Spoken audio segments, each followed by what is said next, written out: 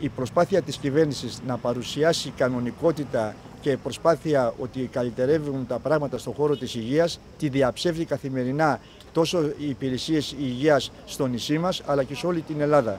Η κατάσταση καθημερινά χειροτερεύει σε όλες τις δομές υγείας με αντίκτυπο στην παροχή υπηρεσιών υγείας στους κριτικούς, αντίκτυπο στη δωρεάν υγεία που τη χρησιμοποιούν καθημερινά οι κριτικοί.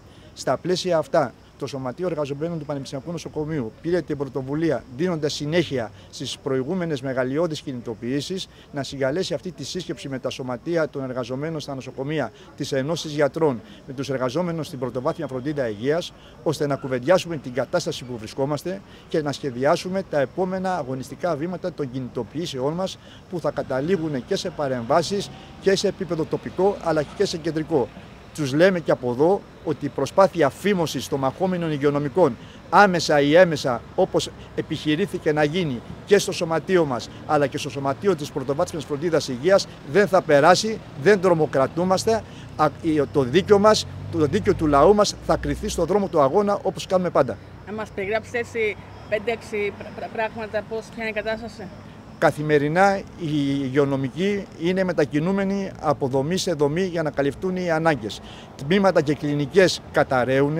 Ήδη στο νομό Λασιθίου οι υπηρεσίες είναι σε τέτοιο βαθμό τραγικό που δεν μπορούν να παρέχουν οι υπηρεσίες πλέον αυτές που να καλύπτουν τις, ε, τους λασιθιώτες και βεβαίως την ίδια ώρα οι κριτικοί πληρώνουν χιλιάδες ευρώ στα απογευματινά χειρουργία, στα απογευματινά ιατρία. Είναι ενδεικτικό ότι οι λίστες αναμονής που έλεγε η κυβέρνηση ότι θα μειωθούν το προηγούμενο διάστημα με το θεσμό των απογευματινών χειρουργείων όχι μόνο δημιουργηθήκανε, αυξηθήκανε και βεβαίως από τις τσέπες των κριτικών έχουν φύγει το τελευταίο πεντάμινο για τα απογευματινά χειρουργία πάνω από 300.000 ευρώ και οι λίστες συνεχώς μεγαλώνουν πρωινές. Λέμε στον κριτικό λαό ότι μαζί με εμάς πρέπει να περασπιστούμε, πρέπει να διεκδικήσουμε το δικαίωμά μας σε δημόσιες δωρεάν αναβαθμισμένες υπηρεσίες υγείας για όλο το λαό χωρίς πληρωμές άμεσες και έμεσες.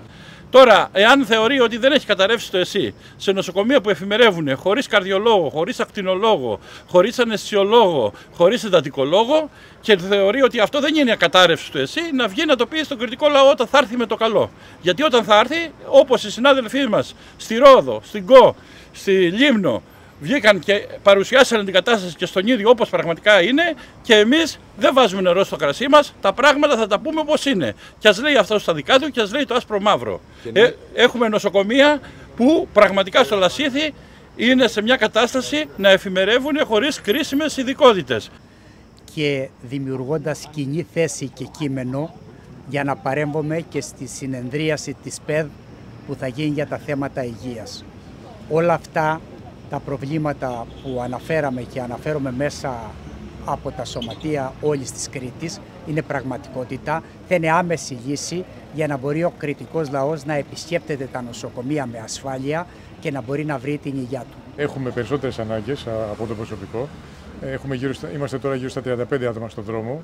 Αυτοί αρκούν για να βγάζουμε περίπου τρία στενοφόρα σε κάθε βάρδια. Καμιά φορά βγάζουμε και τέσσερα, καμιά φορά και πέντε, αλλά με, με κόστος να μην παίρνουμε τις άδειές μας. Ε, για παράδειγμα, ε, εγώ σήμερα είμαι αδιούχος και είμαι με άδεια του 2022. Ε, μας χρωστάνε άδειες του 2023 και του 2024. Ε, έχουμε λοιπόν ανάγκη από περισσότερα άτομα. Αυτά μπορούν να καλυφθούν αφενός από επικουρικούς συναδέρφους. Ε, έχουμε κάποιους επικουρικούς, ε, οι οποίοι κάνουν πάρα πολύ καλή δουλειά και θα θέλαμε πάρα πολύ να βρεθεί ένας τρόπος να μείνουν μόνιμα. Η δικιά μας προσπάθεια σήμερα με αυτή τη μεγάλη σύσκεψη που κάνουμε στα σωματεία όλου του νομού είναι να κρατήσουμε και πρέπει να κρατήσουμε το θέμα της υγείας στην επικαιρότητα και σε αυτό προφανώς θέλουμε τη βοήθεια ολόκληρου του κριτικού λαού τα πράγματα στην υγεία πηγαίνουν από το κακό στο χειρότερο. Σκοπός μας είναι να αναδείξουμε αυτό το ζήτημα. Σκοπός είναι να αντιστρέψουμε την εικόνα που θέλει να περάσει η διακυβέρνηση, η ΔΥΠΕ και το Υπουργείο ότι ναι, μεν υπάρχουν προβλήματα, αλλά γίνονται φιλότιμες προσπάθειες και τα πράγματα θα βελτιωθούν. Αυτό είναι ένα ισχυρό ψέμα. Τα πράγματα δεν βελτιώνται.